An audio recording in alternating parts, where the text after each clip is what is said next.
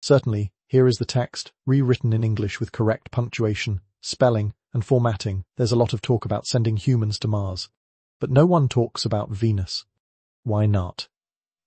And could Venus actually be the better option for a human colony? Going to Mars has been a fixture in our collective cultural consciousness for a very long time. It's inspired more sci-fi movies and stories than I can count, a ride at Disney World, and a Twitter following for the Mars rover that's almost two million strong.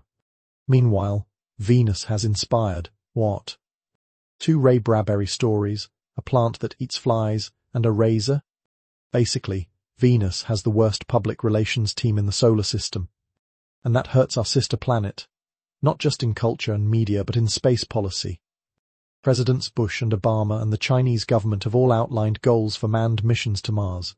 The Dutch non-profit group Mars One even held an international competition to find volunteers for a one, a mission to the Martian surface. But Venus. No manned mission love. Tool. Which is odd since in most respects, Venus is actually an easier and less costly colonization target than Mars is. For starters, Venus is closer to Earth. That's why we sent probes to Venus, long before we sent them to Mars and why we sent more of them. Depending on the launch window, the round trip can be 30 to 50 shorter, which is a major factor for manned missions. Shorter trips mean less weightlessness and radiation, less food and water to carry, and thus less fuel and lower cost. This would also be a huge advantage in moving the people and equipment necessary to actually colonize another world, because bear in mind, there's no Craigslist in space. If we ever start a colony, we'll need to bring along almost everything. And it's not just the shorter trip. The planet itself has some significant advantages over Mars. It's closer to the Sun, which means about four times more available solar power than you have on Mars. It also has a thick atmosphere, unlike that wispy layer on Mars. That means better protection from space radiation and meteorites for our enterprising colonizers and their future cities. It also means more available carbon dioxide from which, in principle, you might extract oxygen. But the real kicker is gravity. Venus has about zero. Nine Earth Gs pretty close, while Mars has less than zero. And one thing we do know is that prolonged low gravity is bad for humans. How bad? In Earth orbit, astronauts lose bone mass at about 10 times the rate of someone with advanced osteoporosis.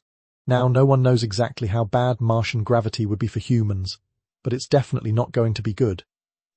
On Venus. That's far less of a concern. And remember, we're talking about long-term colonization, not just visits. Even if we have the technological means to add water to a planet's surface and oxygen to its air, changing the planet's surface gravity is currently not even within the realm of discussion.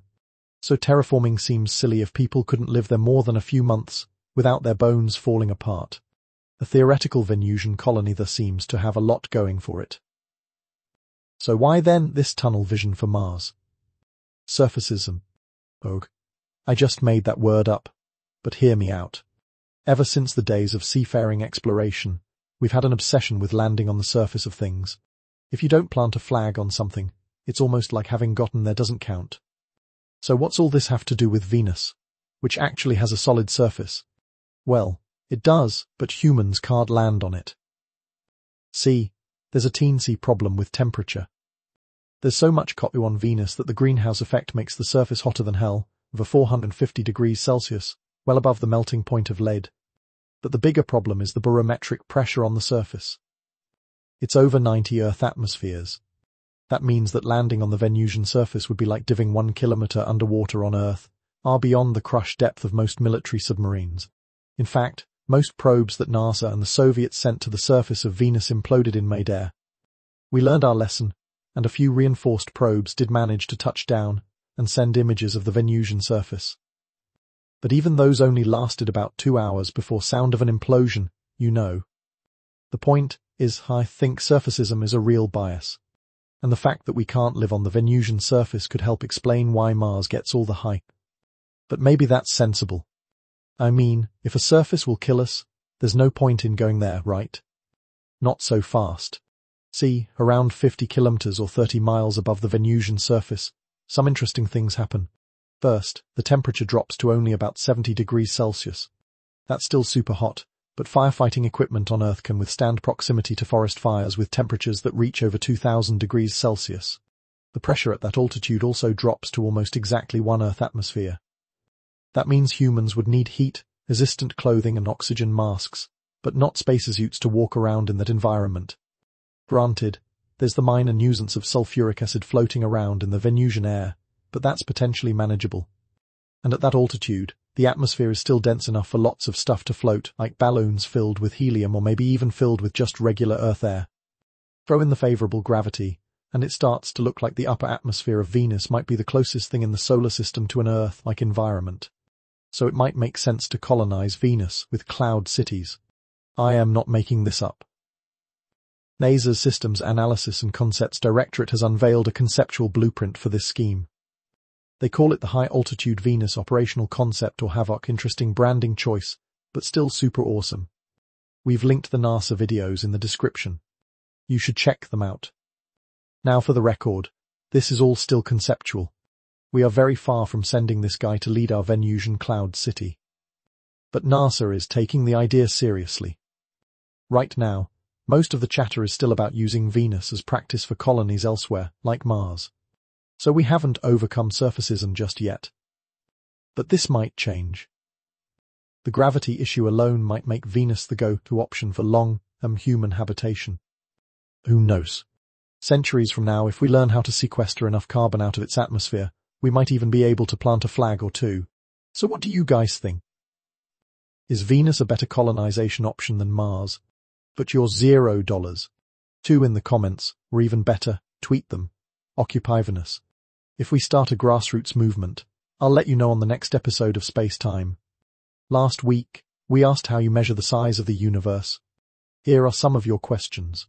Autism asked, how can space be expanding faster than light if the speed of light is the ultimate speed limit? I'm going to answer you in two parts. First, the speed. Light speed limit is for things moving through space, not about the expansion of space itself. Second, you're right. I shouldn't be talking about space expanding at a given speed.